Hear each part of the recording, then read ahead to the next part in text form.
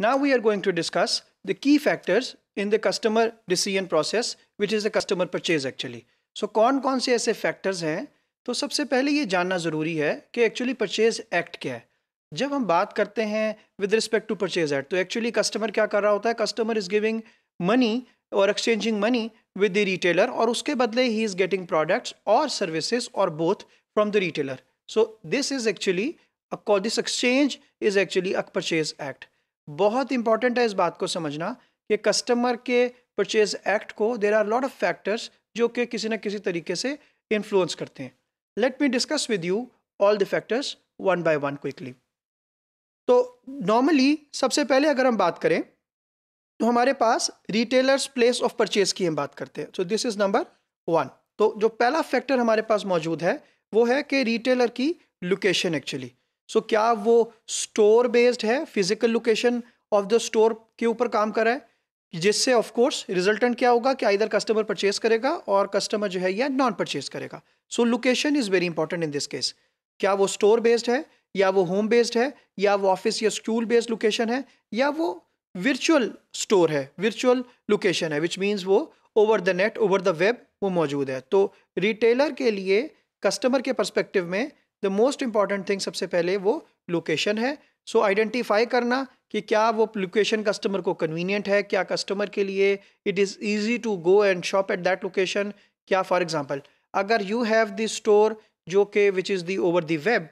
Internet के ऊपर है विच मीन्स ऑनलाइन स्टोर है लेकिन customer does not have access to the internet so in any case there would be a gap so आपके लिए as a retailer ये बात समझना ज़रूरी है कि कस्टमर वो एक्सचेंज कैसे करेगा, वो परचेज एक्ट तभी करेगा when he will interact when he will exchange with the retailer तो जहाँ पर दोनों का कनेक्ट होगा, उसके लिए जो फ़र्स्ट इंपॉर्टेंट फैक्टर है that is the location of the store जिसको यहाँ पर हम रिटेलर्स प्लेस ऑफ़ परचेज का नाम दे रहे हैं। It can be physical it can be virtual जब फ़िज़िकल की बात कर रहे हैं it can be store based it can be home based it can be school it can be office so any any place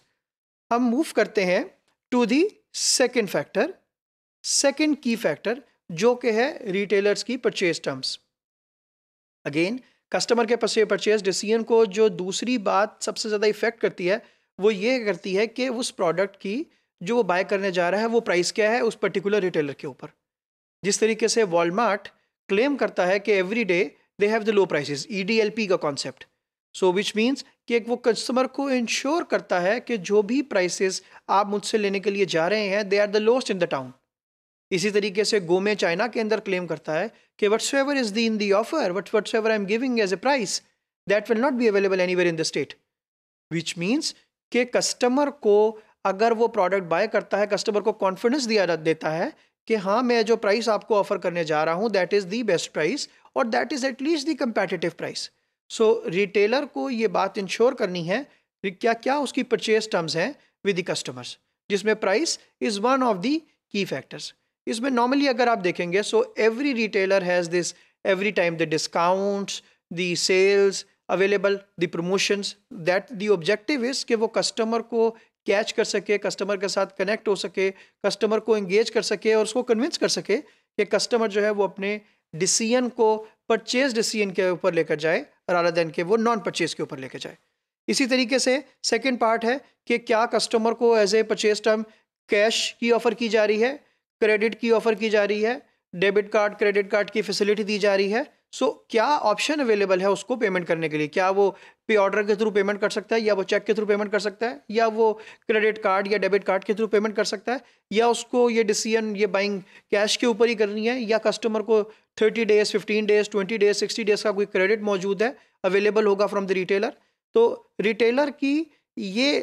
factor retailer का ये की factor जो है ये बहुत इंपॉर्टेंट है स्पेशल वहाँ पर स्पेशली वहाँ पर जहाँ पर प्राइस ड्रिवन इकोनॉमीज़ है कंट्रीज़ लाइक पाकिस्तान जहाँ पर normally price is the major factor तो उसके बाद से जो ये फैक्टर नंबर टू है that is actually one of the main factor जो कि पूरे बिज़नेस को, पूरे स्कीम को ड्राइव कर रहा होता है। उसके बाद नंबर थर्ड के ऊपर जो हमारे पास फैक्टर मौजूद है that is retailers good service availability कि रिटेलर जो कस्टमर को ऑफ़र करने जा रहा है, वो कौन सी गुड्स हैं, वो कौन सी सर्विसेज़ हैं, वो ऑफ़र करने फॉर एग्ज़ाम्पल क्या स्टॉक जो है वो इन हैंड मौजूद है एट द स्टोर मौजूद है या वो कस्टमर जब ऑर्डर करेगा तो उसको वो स्टॉक अवेलेबल होगा। सो so, स्टॉक की अवेलेबिलिटी क्या है? शेल्फ्स की अवेलेबिलिटी क्या है? बिकॉज़ रिटेल के अंदर shelf availability is most important part इसी तरीके से कस्टमर को क्या प्रोडक्ट आके पिक करनी पड़ेंगी कलेक्ट करनी पड़ेंगी या कस्टमर को डिलीवरी फैसिलिटी दे दी जाएगी या कस्टमर जो है वो के लिए प्रोडक्ट कलेक्ट कर ली जाएँगी और वो आके पिक करके लेके जाएगा। सो so, क्या रिटेलर्स को goods and services retailer offer करने जा रहा है? टू दी कस्टमर ये भी एक्चुअली कस्टमर को परचेज एक्ट की तरफ़ लेकर जाएगा। और इन तीनों फैक्टर्स को इफ़ आई सी तो ये रिज़ल्ट करेंगे either purchase of a decision by the customer या non purchase decision of the customer which means अगर कस्टमर मुतमिन नहीं है इन तीनों फैक्टर से तो may be he will say कि वो अब डिसीज़न करेगा कि वो यहाँ से बाय नहीं करेगा उस रिटेलर से, या वो डिसीज़न लेगा कि मैं उस प्रोडक्ट को या सर्विस को उस पर्टिकुलर रिटेलर से अवेल करूँगा। सो so ये ती, तीनों की फैक्टर्स बहुत इंपॉर्टेंट हैं। रिटेलर्स को समझना अंडरस्टैंड करना अपने कस्टमर को अपने टारगेट कस्टमर को सामने रखते हुए।